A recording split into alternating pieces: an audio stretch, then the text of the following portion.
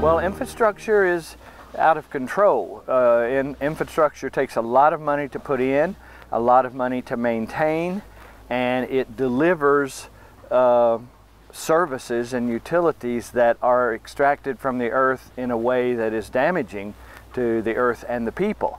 So this is just putting those uh, utilities in the hands of the people rather than the, the uh, corporations and governments who are irresponsibly dealing with them.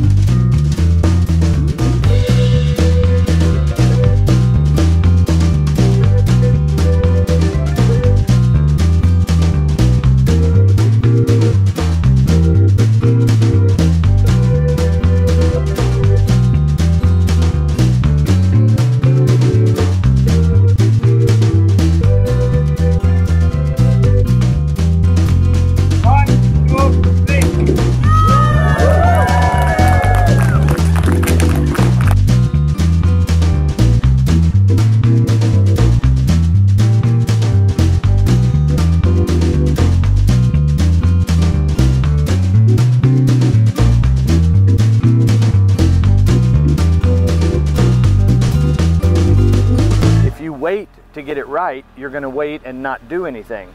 Doing things is what causes you to learn, and, and uh, doing things wrong causes you to learn. So we have built our own education on failure, and we're, we're failing constantly. But we're failing, but we keep moving closer to a way to live on this planet that is good for the people and good for the planet. So if the steps are all made out of failures, they're still steps. And, and at least they are steps. The successes don't really teach us that much. They're fun. It's fun to succeed every once in a while, but the failures teach us and we don't ever forget.